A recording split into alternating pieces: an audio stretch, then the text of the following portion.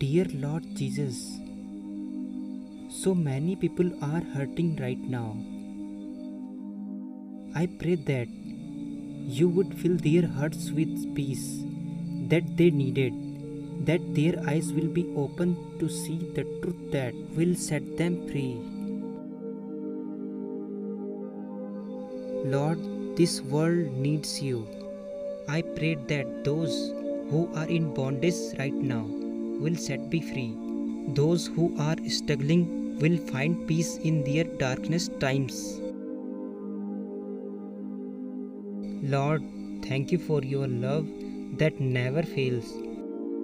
Your light that shines on us. Thank you, Jesus. In Jesus' name, I pray. Amen. If you trust in God, then type Amen.